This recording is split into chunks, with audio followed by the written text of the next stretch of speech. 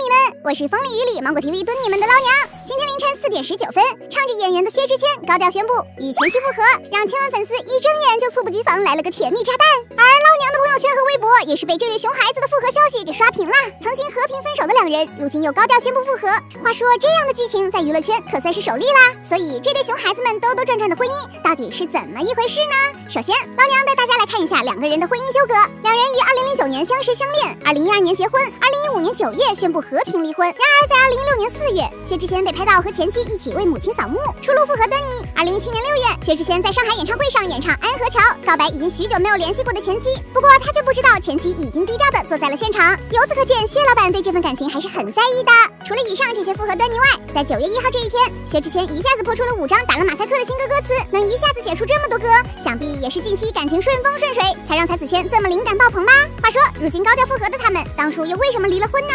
其实从才子谦的之前的一些歌词就可以证明呀。不需要借口，爱断了就放手。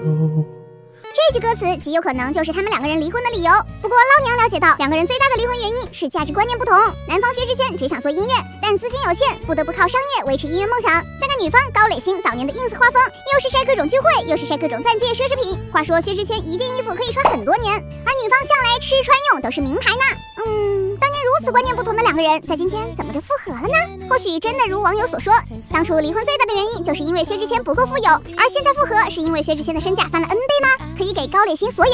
像我的朋友是做广告的，就和我们聊，当初也是看薛之谦特别有才，因为薛之谦自己也特别喜欢做广告营销，所以他们就找薛之谦在网上发一些自己拍的视频广告啊。然后我朋友就说那条微博价值多少，你知道吗？七十万。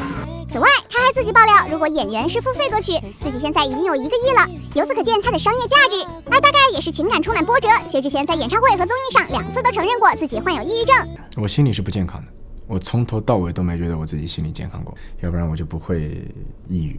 从芊芊的表情和语言中，不难看出敏感而又多情的芊芊在感情阴影中真的迟迟没有走出来。所以敢爱敢恨的芊芊在最适合的时机对前妻说：“那就再爱一次吧。”而对于这种娱乐圈离了婚已经成为朋友，却又表示想复婚的鼻祖，众多网友也是纷纷 diss 开来。有的表示是炒作，为新歌和后续的演唱会做铺垫，甚至还有号称经济学家的网友指出两个人是假离婚，列出这些看似很巧的日期，并表示两个人只是为了躲避上海限购令才离婚买房。对此，老娘最想说的是，薛之谦和前妻的复合，至少让我们看到了人生的美好。这背后更东西就不要去探究啦。既然两个人都选择了重新爱彼此，那吃瓜群众当然要祝福两个人的余生要继续幸福啦。好啦，今天的八一八就是这样啦，明天晚上八点十八分继续听老娘讲娱乐圈熊孩子的那些事。